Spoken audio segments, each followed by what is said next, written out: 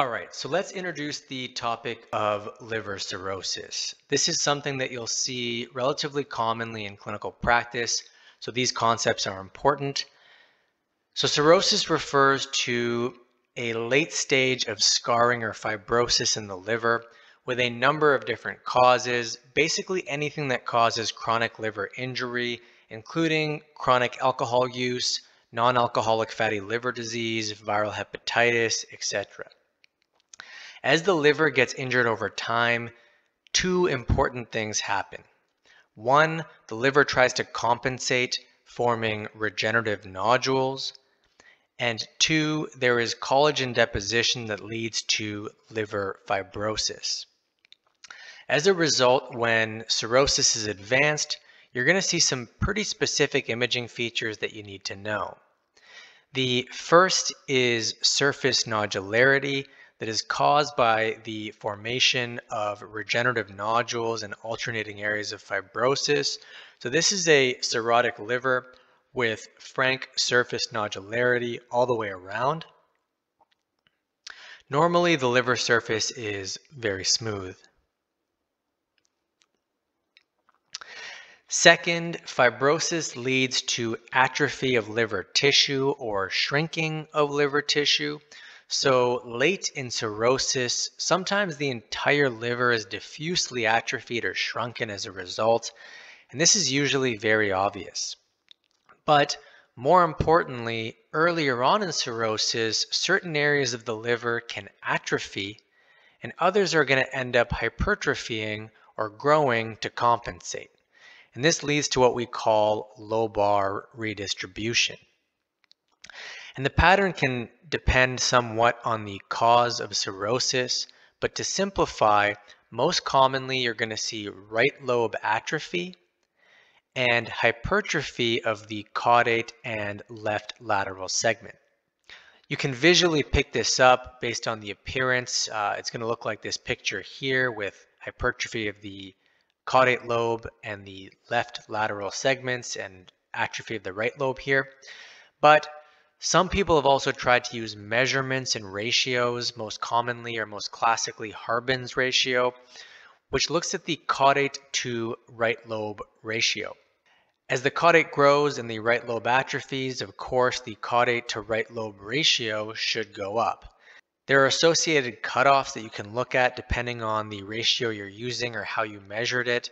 But for the original Harbin's ratio, greater than 0.65 was considered abnormal and pretty accurate for determining if there was cirrhosis present or not. So if you take one thing away from this, when you're looking at the liver on CT routinely, you want to recognize if there is frank surface nodularity and if there is apparent lobar redistribution.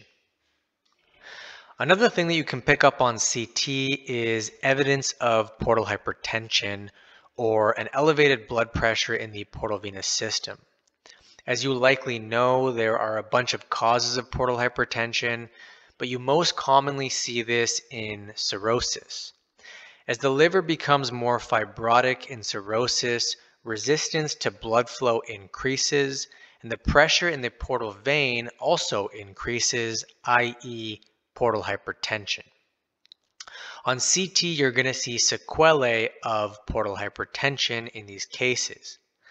One is portosystemic collaterals.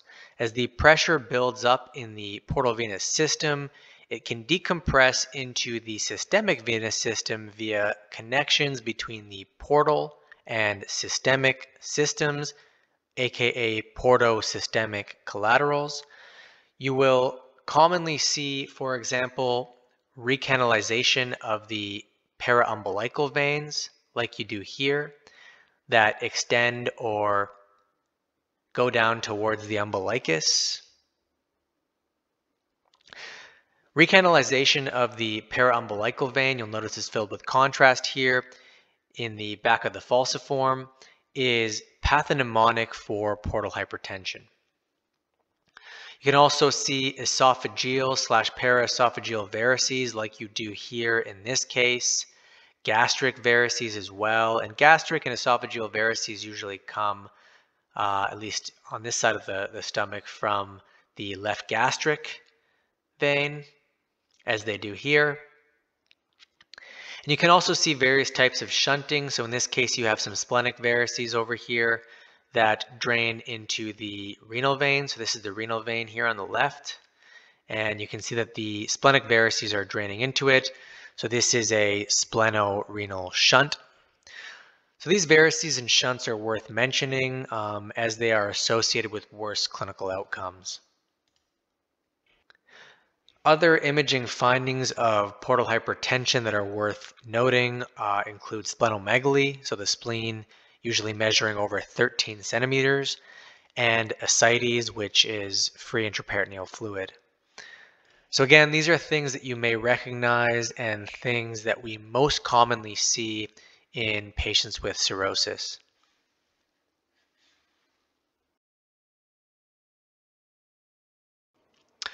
Okay, so there are a few mimics of the classic signs of cirrhosis that I think are worth briefly mentioning.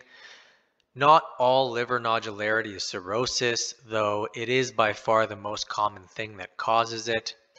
Pseudocirrhosis here on the left is a pattern seen in the liver in some patients with metastatic disease to the liver, most commonly seen after treatment and most frequently or most classically described in breast cancer. So what happens is you have scarring that is related to a metastatic lesion or multiple metastatic lesions in the liver. And this can happen pre-treatment or more commonly post-treatment. And this can make the liver look nodular, just like cirrhosis. So this is a case of a patient who had breast cancer and uh, had treated metastases in the liver with a pseudocirrhotic pattern. But also note that usually you're going to be looking at this particular liver, for example, in the context of a patient with a known cancer with known metastases that were treated. Diaphragmatic slips are normal bundles of diaphragm muscle that can that can be prominent in some patients and can mimic nodularity in some patients as well. So these arrows here are pointing to prominent diaphragmatic slips that make the, the surface of the liver look uh, nodular, but that's not actual nodularity of the liver. That's related to the diaphragmatic slip, so that can be a pitfall on CT if you're not aware of them. There are a few other processes that I won't touch on that can mimic surface nodularity uh, that you see in cirrhosis. Um, but they're pretty rare and out of scope here, so I think we'll stop there for this topic.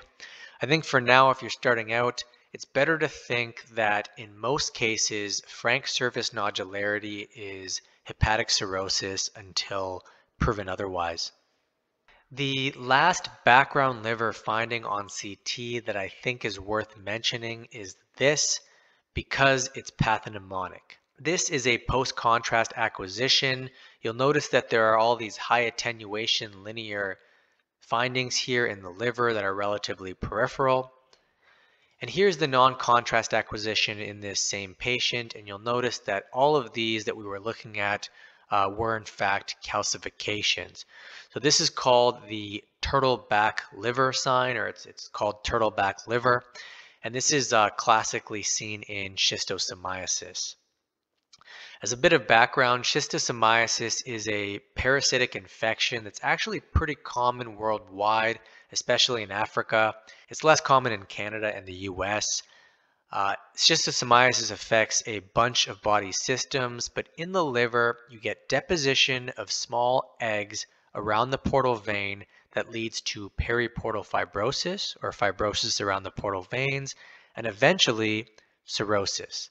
So it's actually one of the more common causes of cirrhosis worldwide. The two most common species of schisto that affect the liver are Schistosomiasis mansoni and Schistosomiasis japonicum. The eggs that get deposited in the liver are bigger in Mansoni, so they're usually deposited along the larger portal veins. And in Japonicum, they are smaller, the eggs are smaller, so they generally affect the smaller, more peripheral portal veins. So the pattern I'm showing here in these images of turtleback liver refers to this pattern of calcified septa and fibrosis peripherally. and this is pathognomonic for schistosomiasis japonicum. With Mansoni, you generally get more central periportal fibrosis, and calcification is not common with Mansoni. If that's too much, just remember that this appearance is pathognomonic for schistosomiasis. Schisto is something that you may see relatively commonly in clinical practice, depending where you practice in the world. So I thought it was worth briefly touching on. In the next video, we will introduce the topic of a very heterogeneous mottled nutmeg type appearance of the background liver and the associated pathologies, that is passive hepatic congestion, Budd-Chiari, and SOS. So stay tuned for that. We'll then wrap up background liver and move on to focal liver lesions. Okay, thanks a lot.